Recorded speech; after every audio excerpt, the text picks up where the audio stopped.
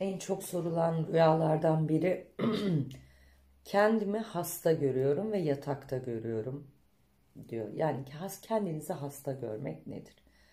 Yani böyle yatakta yatıyorsanız aile büyüklerimizle alakalı sağlık problemi olacağı ve bu problem ameliyatlık bir durum olacağı ve sıkıntılı olacağını gösterir. Eğer siz yatakta yan yatıyorsanız ve sırt ağrınız varsa yakın dostunuzdan çok büyük bir zarar göreceğini ve sırtınızdan harçerleneceği gözüküyor.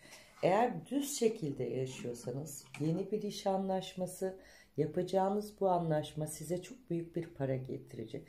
Böyle yüzüstü hani yüz yastığa doğru yatıyorsanız e, görmediğiniz, ina, inandığınız dostlarınızdan ya da inanmaya çalıştığınız insanlardan maddi kayıp yaşayacağınızı söyleyebilirim.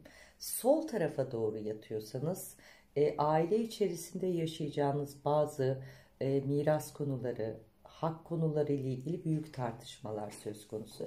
Eğer kendinizi yatakta uyuyor ve hasta halinizde görüyorsanız uzun süredir e, sağlığınızla alakalı hassas noktalarınız var ve psikolojik olarak kendinizi çok yorgun ve takıntılı bir durumunuz olabilir.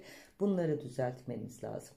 Mesela yatakta e, oturarak yatıp böyle ayaklarınızı üst atıyorsanız uzun süredir ailenizle alakalı çözülmesini istediğiniz miras konularının daha yarım yamalak çözüldüğü ve tam çözülmediğini görüyor.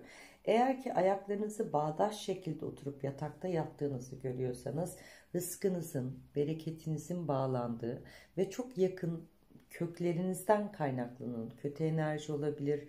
Size yapılan bir kötü bir e, rızkınızla alakalı sorunlar olabilir. Eğer eliniz kolunuz ve bağdaş şeklinde duruyorsanız size yapılmış bir enerji evlilik rızkınızı ya da evliliğinizi kötüye götürmeye sebep olabilir. Biraz yatak sıkıntılı ve genelde özellikle erkek yatakta yatıyorsa kadın soyundan bir cenazeyi, kadın yatakta yatıyorsa erkek soyundan cenazeyi de gösterir. Sevgiyle kalın, umutla kalın. Lütfen yorum yazın. Emek veriyorum. Beğenin. Kanalınıza sahip çıkın. Allah'a emanet olun.